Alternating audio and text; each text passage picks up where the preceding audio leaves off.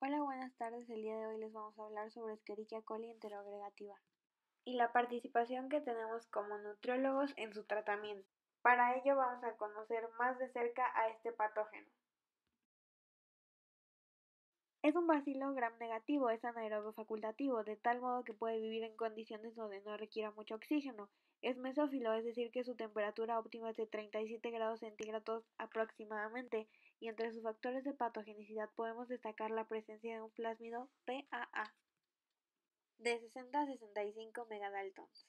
Para el tratamiento y reconocimiento de esta bacteria es importante conocer su mecanismo de patogenicidad. Es por eso que aquí podemos observar el enterocito, al que posteriormente se va a agregar la bacteria, se va a agregar o adherir a través de las fimbrias y la célula F2, que van a encontrar sus receptores en las microvellosidades que se encuentran en la superficie del enterocito. Posteriormente, la bacteria va a liberar enterotoxinas, como la toxina termoestable, que altera el transporte de los iones, lo que aumenta la actividad de guanilato ciclasa e incrementa el GMP cíclico lo que provoca una liberación de agua y electrolitos, provocando en ocasiones diarrea acuosa. También va a haber una liberación de la toxina codificante de plásmidos, también conocida como PET, que se va a unir al aparato de Golgi, provocando la inhibición de la síntesis de proteínas en el enterocito.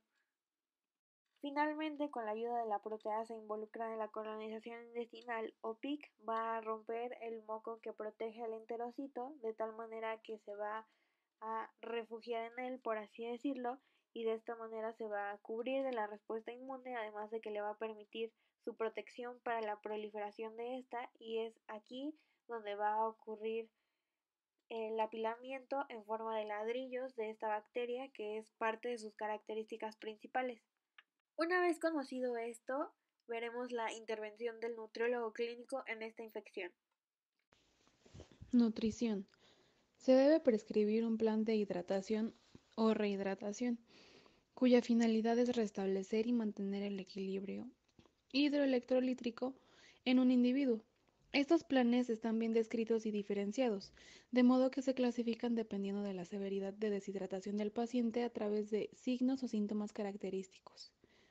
El plan A se aplica a individuos que no tienen ninguna sintomatología o a pacientes con deshidratación leve. El plan B se aplica a individuos que cursan con sintomatología de deshidratación moderada que toleren la vía oral. El plan C se aplica a individuos que cursan con sintomatología de deshidratación grave o a individuos con deshidratación moderada que no toleren la vía oral, de modo que se administra por vía endovenosa. Recomienda una dieta astringente ya que está indicada en procesos diarreicos, con los objetivos de reponer la pérdida de líquidos y electrolíticos para evitar la deshidratación, reducir la estimulación de las secreciones gastrointestinales, enlentecer el tránsito intestinal, reduciendo con ello el número y volumen de las deposiciones, así como realizar una progresión dietética adecuada hacia una alimentación normal. Las características generales de la dieta son consumir baja cantidad de fibra insoluble como en legumbres, verduras y ciertas frutas. También alimentos bajo en grasa, exentos en lactosa, como leche, flan, quesos y natillas. Evitar alimentos irritantes.